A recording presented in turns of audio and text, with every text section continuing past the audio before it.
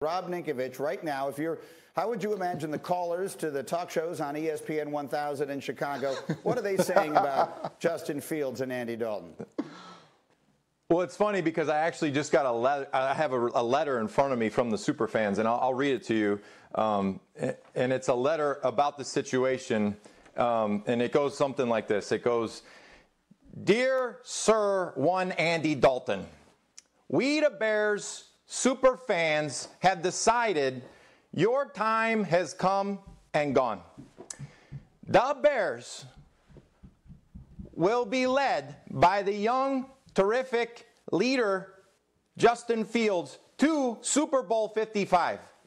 Sincerely, the Bears super fans, Super Bowl 55 champs, led by Justin. Thank you.